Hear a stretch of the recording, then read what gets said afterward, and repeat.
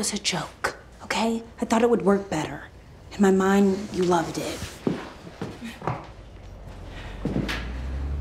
So, how's it going? Okay, it's bad. I thought you were dead. You've been gone for three weeks. I should fucking stab you. No, I appreciate your mercy.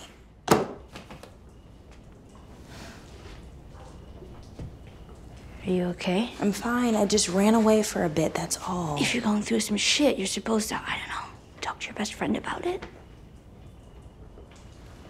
I came back.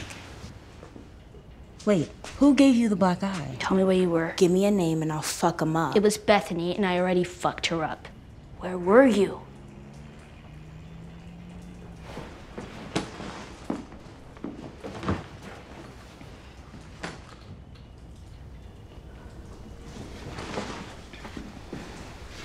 I joined the Fireflies. Oh, fuck you.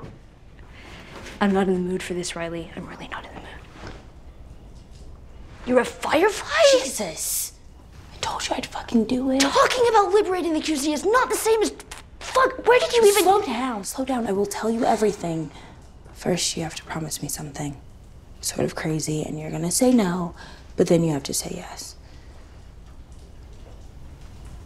Come with me for a few hours and have the best night of your life. No, Okay, now say yes. I'm not going anywhere with you. It's great. It's 2 a.m. and in a few hours I have drills where we learn to kill fireflies. Get dressed. So stupid. Turn around. You're so weird about that.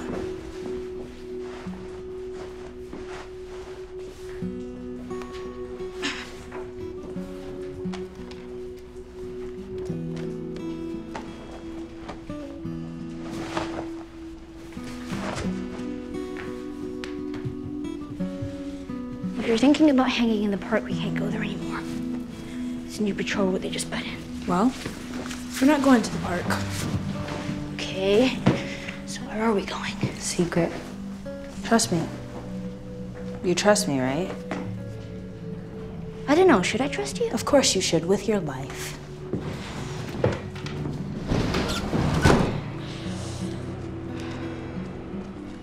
Guards?